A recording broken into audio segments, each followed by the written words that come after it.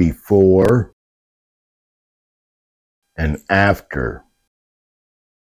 Alrighty, guys. Welcome back to 1822 MC Adventures and More. This is my channel, and my name is Pete. And today we're going to make a fish sandwich. Yep, that's right. The other day I caught a couple nice ones, and uh, we're to make a sandwich today. And when I came up with the bright idea of doing this, I looked in the refrigerator, and what didn't I have? Tartar sauce, of course, right? Well, guess what? A quick little Google search, and I Googled up some tartar sauce. I've made my own, and I'll put the recipe in the video about right here. All right, guys, and so what we're going to do today is I have one whole bluegill that we're going to fry up, and then I caught a shell cracker that was bigger than my hand, a nice one, and I filleted him, and I didn't do too bad of a job of filleting him, but I filleted him good enough to make a sandwich out of him, so uh, let's get down to business. I'm hungry. All right, guys, first things first, let's make some tea.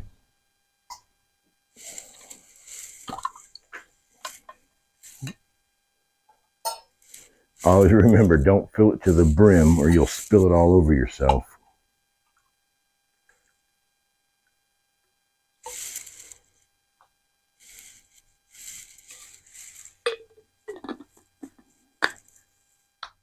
I'm sure there'll be more than one tip, but today's tip is if you got a sport bottle like this, put some duct tape on it for fires and repairs and duct tape some stretchy cord to the cap so you don't drop it in the dirt. Don't learn the hard way like I did. Okay.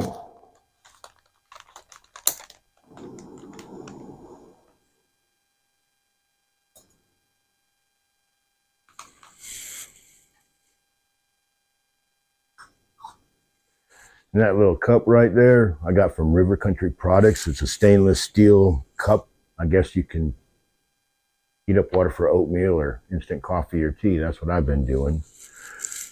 I don't know what it costs in today's world, but I know I didn't pay but about three and a half dollars for it, four fifty maybe tops.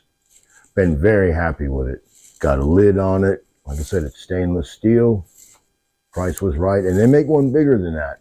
If I was to order another one, I would absolutely order the bigger one because you could actually maybe do a little more cooking. You'd at least heat up more water. This one's like a cup and a half, you know, like I forget how many milliliters. I'll let you know after when I edit it. But the other one is about 300 milliliters bigger than this one. And it boils really fast. Well, not that fast, but uh, and we'll be drinking some Bigelow English Tea Time Black Tea. And this one does not have the bergamot in it or anything like that. It's not an Earl Grey tea. It's just black tea. This is what I'm going to make my sandwich out of. This is the fillets I got off of that shell cracker. And after I cut his head off, that's what we got left of the bluegill and I'm going to dip him in an egg and then dip him in some Aunt Jemima. Yeah, that's right. That's the real deal. That's Aunt Jemima pancake mix there, guys. When the fucking wacko fucking snowflakes started melting and, and went into fucking zombie land and they went to outlaw that and the Uncle Ben's and all this other good stuff that a lot of us grew up with. Well, I went down to the store and I bought all they had.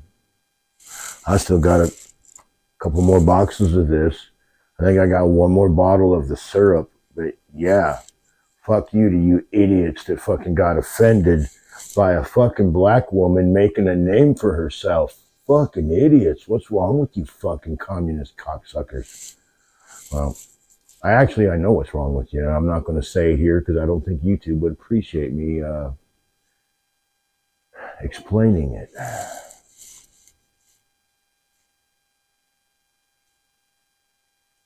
All right, we'll just turn this up.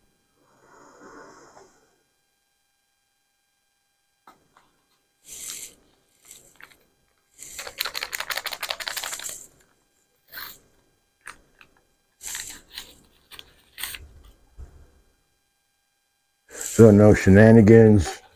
However long that took is how long it took to get to a boil. Not bad if you ask me. And then get it off the stand there before it falls off. We'll just set that right there. And put the lid on there like that.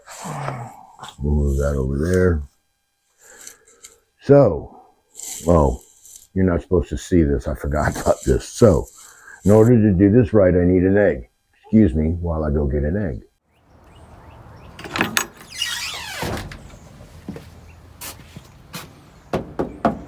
Knock, knock. Ooh, looking pretty good today.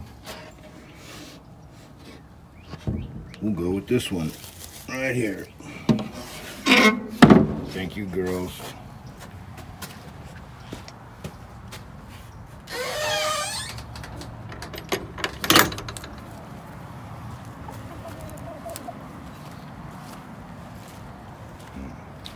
Thank you for the egg blue.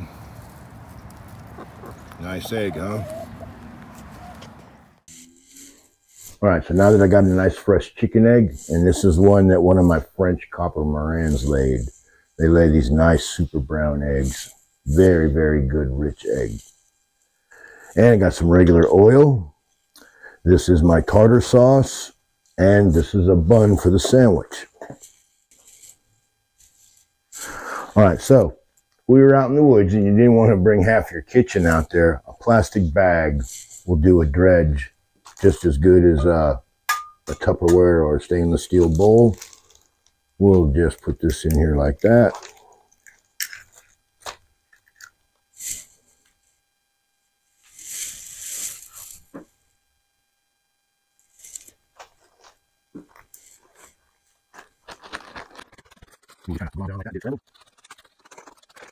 Okay. Put some oil in the pan.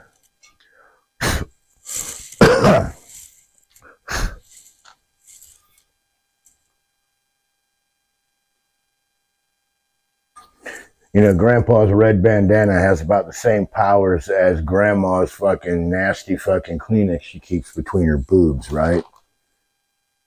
Nobody knows where these supernatural powers come by, eventually you get them. Okay, so let's take some Aunt Jemima and put that in here.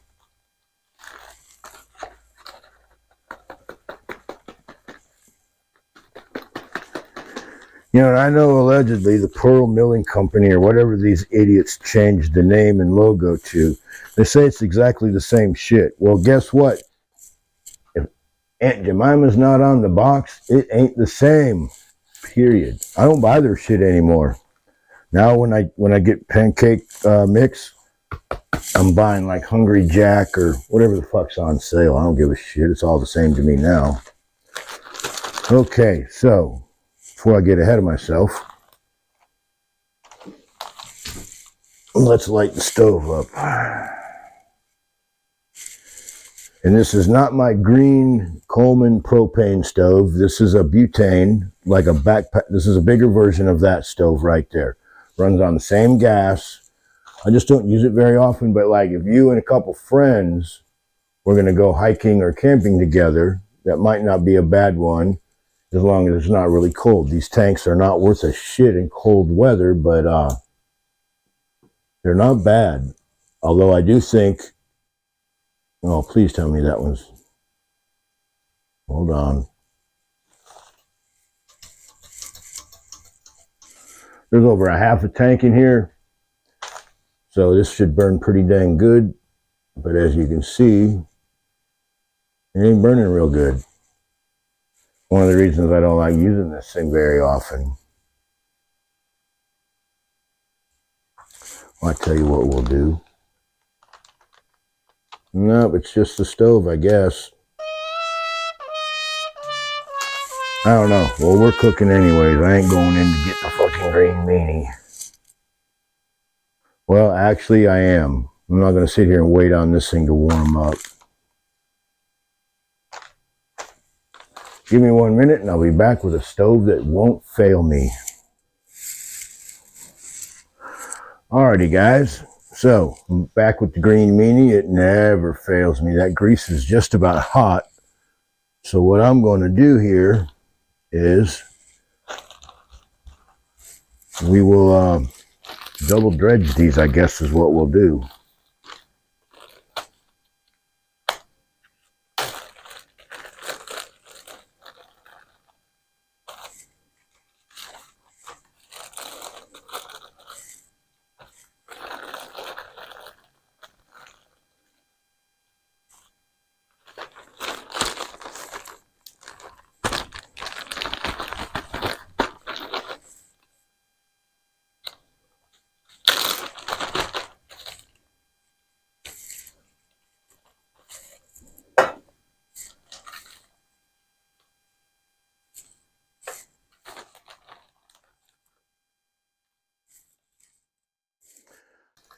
Now we'll put these guys in the egg mix.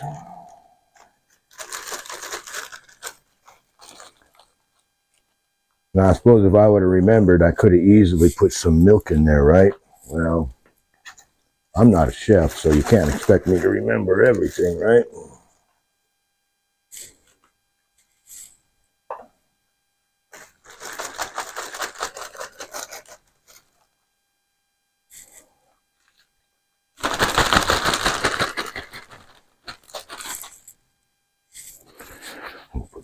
that now.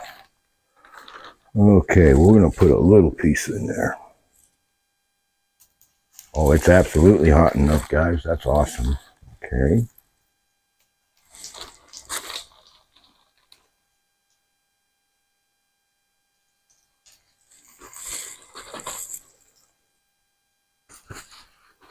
Oh boy, that's cooking up quick. I might want to turn this down a little. There we go.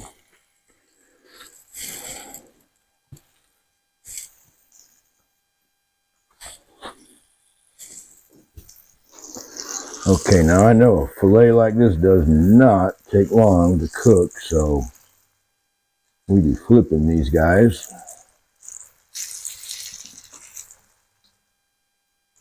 Give another minute there. Man, that looks good, don't it? And take a chance on messing up the camera. Yeah, looks good, don't it?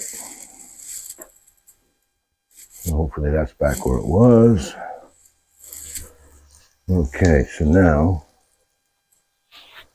what we will do, put that in there. I'm going to turn this off for a minute.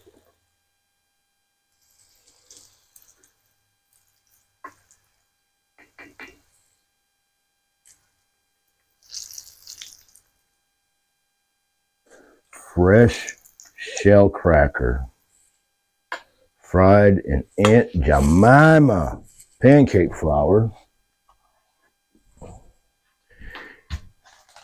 And an antique Griswold number four cast iron skillet. And don't get much better than that, guys. Okay, what do I need now? I need a knife is what I need.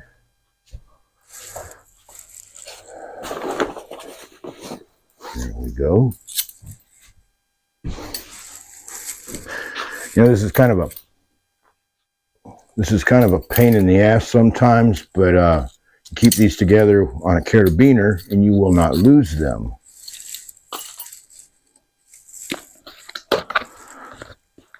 All right, now I'm not going to do this today.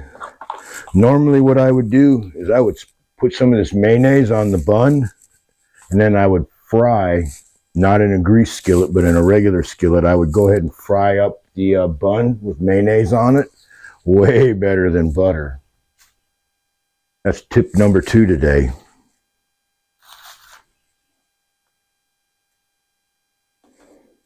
All right, so let's try out some of this here uh, tartar sauce. I don't think it looks like much. What it is, is it's sweet pickles and mayonnaise, mustard, and lemon juice. And then I put a little bit of onion powder in there. And I also put some uh, garlic powder And then I took some uh, Tony Somebody's Creole seasoning and put that in there.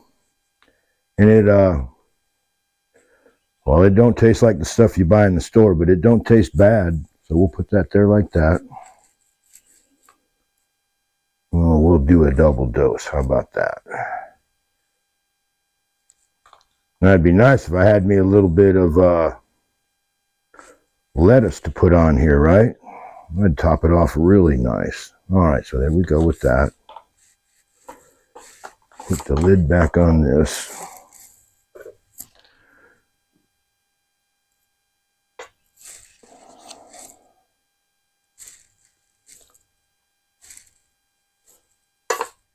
Now it's probably ridiculously hot, but we'll give it a shot here.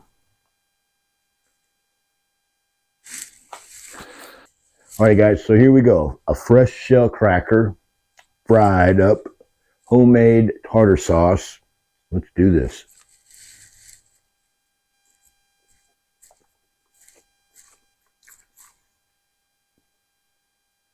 Oh, man. You have no idea how good that is. My wife, one of her favorite fishes to eat is shell cracker. And uh, I'll have to say that myself. This one is really good. Then and I used pancake batter. You wouldn't have to use Aunt Jemima's, but if you got it, I'd rock it.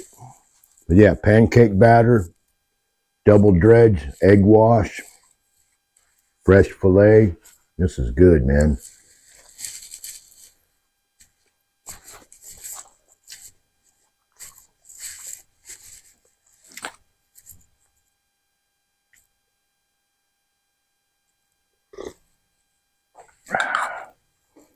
I got the microphone in my throat. It probably picks up all that noise.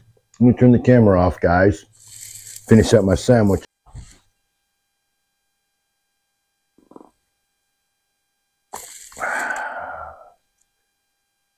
Man, that was like the best fish sandwich I've ever eaten. The only thing that would have made it better would have been homemade bread. I got to catch me another fish for uh, a fish sandwich because that tartar sauce is out of this world. I'm serious, guys. You've got to make it yourself if you like it. And then you can always tweak it with what you want. You can put a little dill in there or whatever. Um, but something that's on my list of things to do is eat a bowfin. And when I when I was catching these fish, I noticed that there was either gars or bowfin that were out there swimming around doing what they do. So uh, next time I go down to the river, I'm going to take a bigger pole with me and I'm going to go try to catch uh, a bowfin. We'll see how that works out. And the tail, almost like fish bacon. Mm. Man, that's some kind of good. We got to do this again, guys. Sorry I don't have enough for everybody. Go catch your own damn fish. All right. Well, I had a semi-emergency text. We're gonna clean. I gotta go in the house and clean this mess up later. Absolutely enjoyed cooking this for you guys. Fresh shell cracker sandwich and a fried bluegill. Some kind, oh, excuse me. Dang. Some kind of good. See you in the woods, guys.